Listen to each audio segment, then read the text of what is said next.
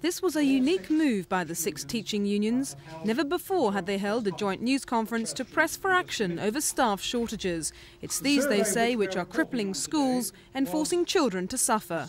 Unless we increase substantially the pay of teachers, then this situation will not only remain the same, but will in fact deteriorate until we have a situation where uh, education and teaching will be one of the uh, professions in which people, young graduates, will avoid at all costs. More than 17,700 schools were polled by the joint unions in September. The findings show that London and the South East are the worst hit areas. Union bosses say that in the capital, vacancies have doubled over the last term and teachers are at breaking point. Frankly, if the situation is not substantially improved this year, then our members will simply have no option other than to say enough is enough. When you say that they're going to say they've had enough, what sort of action will you think of? Would it be working to rule or anything like that?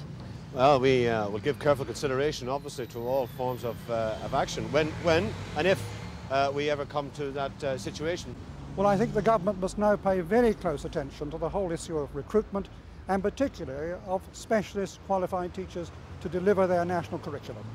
But Education Secretary John MacGregor doesn't believe the situation is as bad as the unions make out. I think it's important not to exaggerate. It's also important that we all make use of the flexible pay packages that we now have in order to deal with these precise problems. But for six teaching unions to join forces today, surely that's not taking it too far. Obviously, they are very worried. Well, I shall clearly be looking at uh, the survey that they have done to see whether there is any evidence that uh, has not been available to us so far uh, where we need to think further about particular measures. Whether Mr MacGregor's statement will appease teaching unions has yet to be seen. This is Githa Hutton for Thames News.